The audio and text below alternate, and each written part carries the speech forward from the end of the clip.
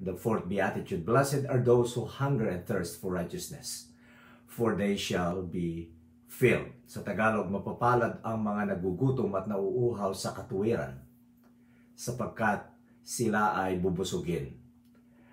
And uh, in Luke chapter 12 verse 17, the rich fool, the rich fool said within himself, What shall I do because I have no place to bestow my crops? And he said, This will I do. I will pull down my barns, and I will build greater barns, and there will I bestow all my crops and all my goods. This rich fool wasn't about to share them with anybody, although he has excess. He was just going to pile them up, accumulate them. And I will say to my soul, the rich fool says, Soul, thou hast much goods. Look at that. Soul, thou hast much goods laid up for many years and take thine ease, eat, drink, and be merry. The rich fool was hungry for possession, physical possession, and accumulation of possession, accumulation of wealth. You know what God said to this rich fool in Luke chapter 12? You fool, this night your soul shall be required of thee. Ibig sabihin, ngayong gabi, mamamatay ka. Then the, who shall those be which you have provided. Kanino mapupunta yung mga maiwan mo? In our study tonight, blessed are they who hunger and thirst after righteousness, after God's righteousness. Jesus used this analogy that food and water are necessities. And so is righteousness for our spiritual life. You and I need God's righteousness like what we need physical food and water for our physical life. Our physical life de depends on food and water. However, our spiritual life depends on God's righteousness, true righteousness, not fake. You can't live physically without food and water, that's a given. And you'll never live spiritual without God's righteousness. So righteousness is not an optional supplement or it's not a supplemental vitamins for our physical life, but it's a spiritual necessity. Think of the physical aspect and maybe it will give you an idea of the intensity that the words of Jesus have here in Matthew chapter 5 verse 6. History tells us that famine came to Rome in 436 BC and it caused thousands of people to, to literally throw themselves into Tiber water and drown themselves rather than die of starvation. Mas gusto pa nila na mamatay silang nalulunod kaysa mamatay sila sa gutom. Famine struck England in 1005 AD and all Europe suffered famine in years 879 and 1162 AD. And even in the 19th century, with some advance, advancement in technology and commerce, hunger strikes Russia, China, India, and even Ireland, so that masses of humanity died. Even in today's 21st century, parts of Africa and India and other third world countries, thousands die of malnutrition, thousands die of starvation, and some die of accompanying diseases, just like what we have right now. We have COVID-19. Hundreds more perishes in parts of Latin America.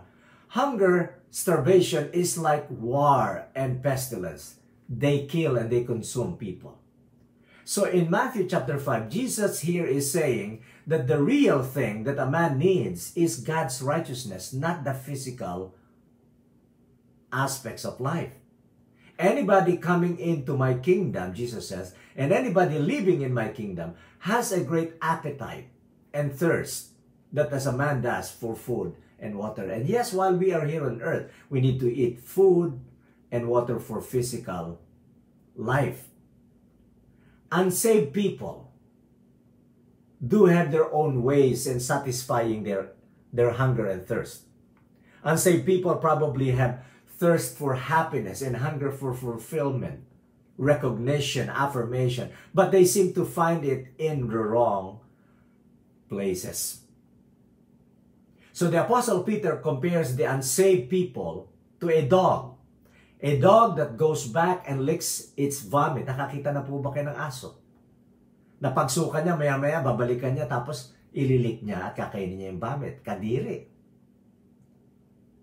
And then Apostle Peter also compares the unsaved people to a pig. A pig goes back and wallows in its mire. Kahit paliguan mo siya, pabanguhan mo siya, lagyan mo siya ng laso, after that, the pig goes back to mire. So the world is trying to feed and save people of what is not nourishing and that which cannot fulfill the need. They are all temporary.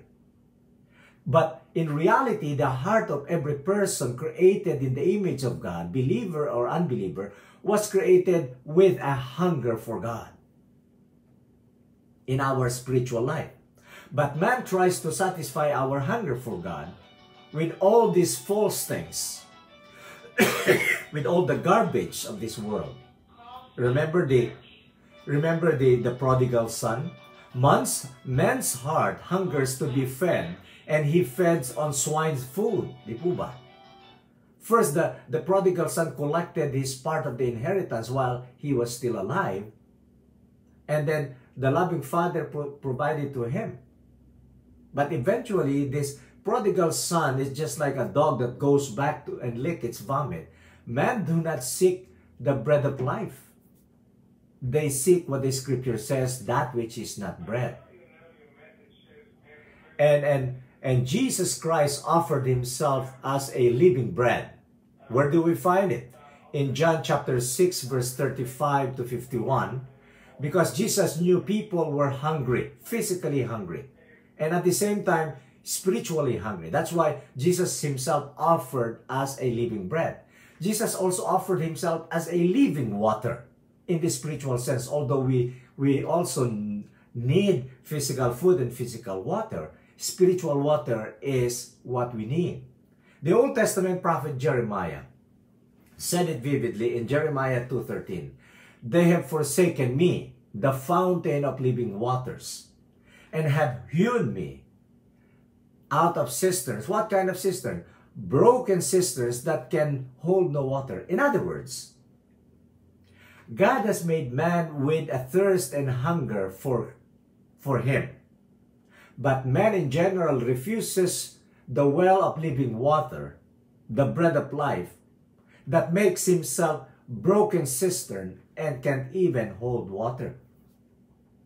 It is sad commentary to see a lot of people hunger and thirst for the wrong things. What are those wrong things?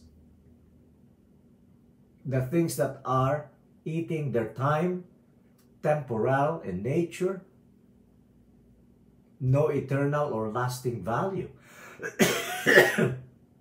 the, the, these people are hungry and thirst for happiness and, and, and fulfillment. And they're trying to fill it themselves, by themselves. They, this, this, these people try to fill it fill it with themselves with self-indulgent happiness, self-made happiness, temporary pleasures, possessions, power, popularity, fame, and praise.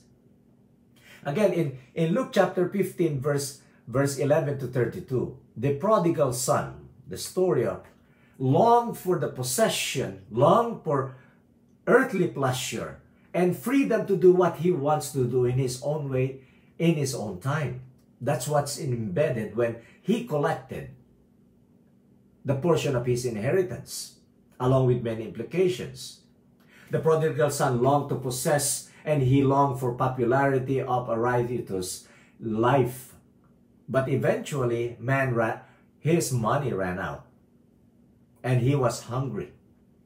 Finally, he realizes and say, how many of my father's servants have been, have bread enough to spare? And why am I doing this? That I am eating with a pig, with a swine. So after realization, after the reality, he went back to his father's house and he was given a feast. Make the story short.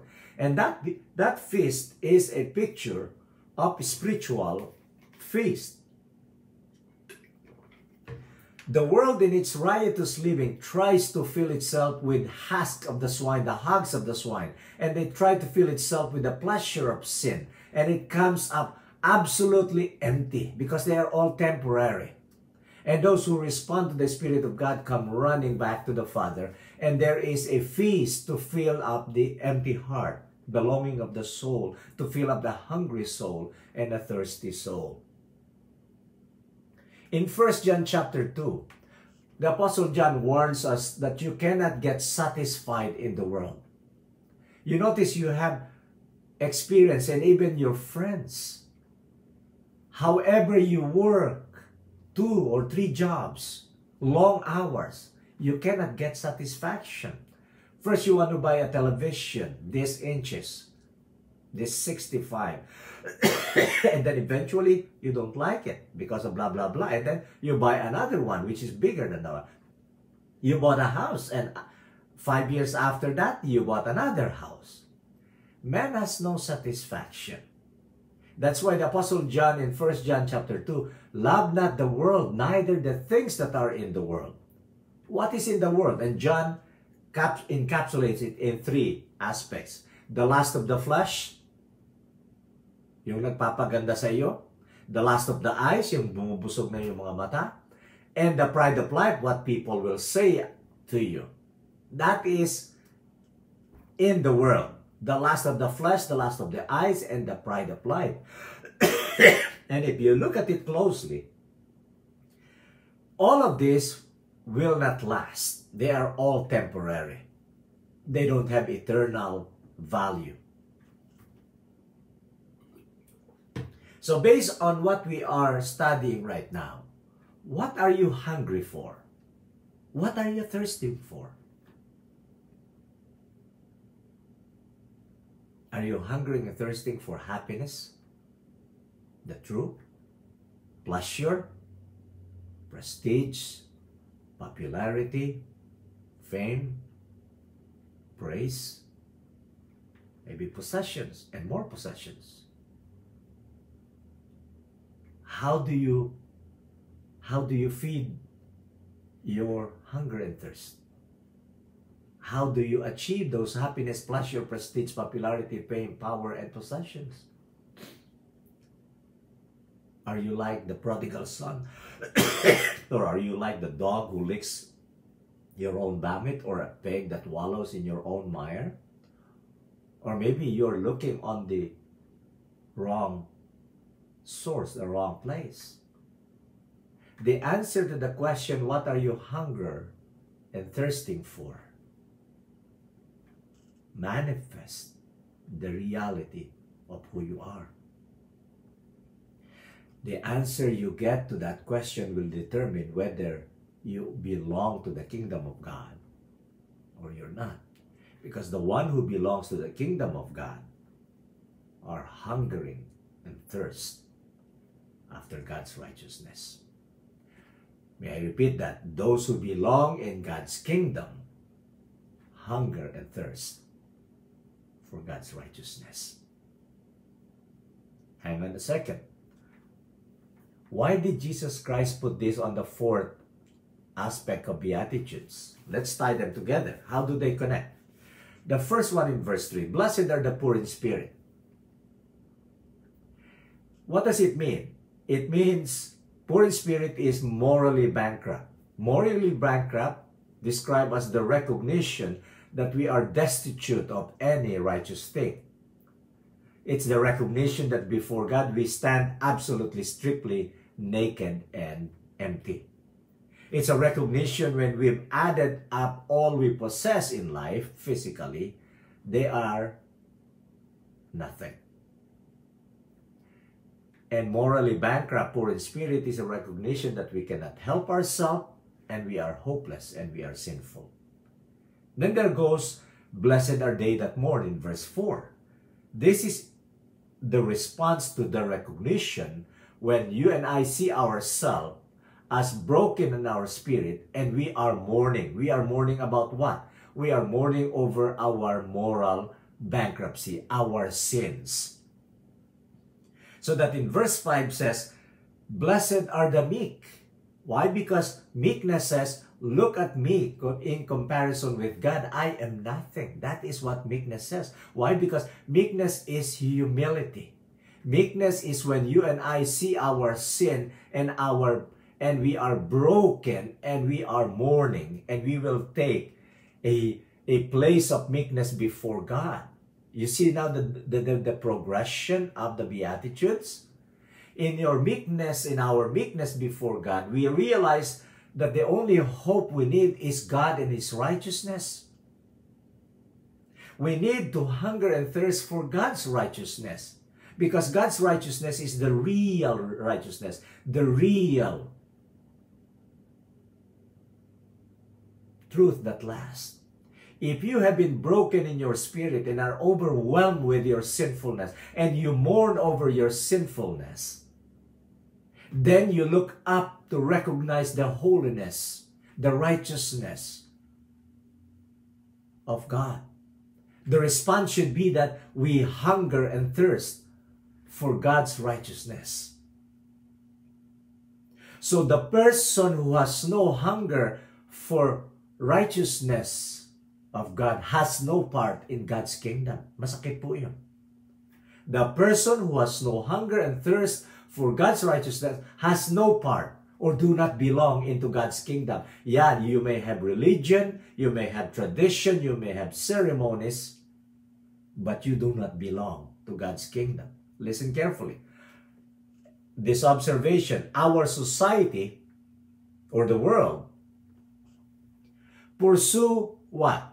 Our society and, and the world pursue money, materialism, popularity, fame, pleasure. Why? Because they rooted out of selfishness, greed, and pride. Because these are all not our need. They are just want. Need and want are two different things. God will provide our need, not our wants. The sad part of it is even though the United States grants us the pursuit of happiness in our declaration, people don't find it. People, most people, some people in the United States, a greater number of people in the United States are unhappy, even though they are in the United States, compared with, with other people of the world. Why? Because people did not find happiness in the right way. Why? In the first place, they define happiness in the wrong way. So if a person defines happiness in the wrong way, therefore he cannot find the true happiness. Happiness, the, the, the world and society will say, happiness is when you have more money. When you take all pleasure, when you eat all the food. When you are in power. When, when you have a lot of TikTok followers or, or Facebook likes or, or Instagram or or happiness is having material things. Masaya ka ba na marami kang followers? Masaya ka ba na marami kang pera? Na masaya ka ba na ikaw ay mayor or, or vice mayor or governor? Are you really happy with all of this? Jesus' beatitude says that blessedness or happiness, based on this, Blessedness or happiness is equal to brokenness in spirit, mourning over our sin, being meek or humble, hungering and thirsting after righteousness. Opposite of what the world and what the society is telling us, di po ba? The parallel passage of, of Matthew is in Luke chapter 6. When Luke wrote this, Blessed are you who hunger now Wow. Blessed are you who hunger now. Desire for righteousness is characterized, is to characterize our life in the now, not in the future. Now and in the rest of our earthly existence. Why? Because happiness depends on the object of our hungering and our thirsting. So, blessed are those who hunger and thirst for righteousness, for they will be filled or they will be satisfied. So what is the object of our spiritual hunger and our spiritual thirsting? I would like to offer to you two. The object of our spiritual hunger and thirst is salvation for unbeliever and sanctification for believer. May I repeat that? The object of that instruction, blessed are they who hunger and thirst, is salvation for unbeliever, sanctification, or a life of holiness for believers. For unbelievers, salvation. During the time, the listener, the Jews, the Jewish greatest obstacle for receiving salvation or good news was their self-righteousness. Akala ng mga Hudyo dahil mga rabay sila at marami silang alam sa Torah sa Old sa Old Testament. And dahil may magaganda silang mga lugar at marami silang paraphernalia. They thought that they are assured of heaven. They did know that the greatest obstacle to receiving salvation was self-righteous. Yung akala mo matuwid ka. Nagmamarunong, nagmamalinis confidence in their own purity, in their own holiness, which they imagine was created by good works.